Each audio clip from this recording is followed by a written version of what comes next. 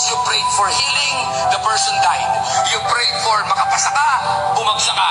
You prayed and you claimed na mag- madil mo yung business, makuha mo yung dapat, hindi nangyari. Now, this is the reason why many are disappointed to God. Ano po, bakit po siya disappointed? Kasi pag meron tayong gusto, hindi nangyari. Nag-pray ka, sana matuloy. Hindi nangyari. Nag-hope ka kinabukasan, sana sa akin. Hindi nangyari. Then you are disappointed. And then sinisisi mo si Lord. Biniblame mo siya. Ang dahilan, kasi kilala mo lang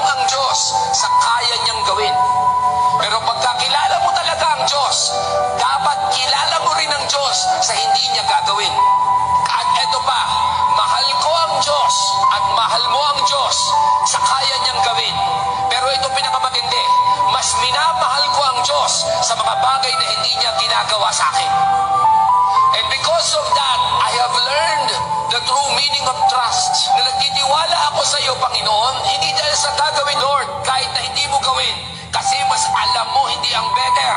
Ang alam mo ay ang best. Alam mo, ang hinihintay lang naman ng Diyos, sabihin mo sa Kanya, Panginoon, I still trust you, I still love you, I will still pray, I will still worship, and I will still serve. Kahit hindi mo ibigay, ang mahalaga, ikaw ang mahalaga sa buhay ko.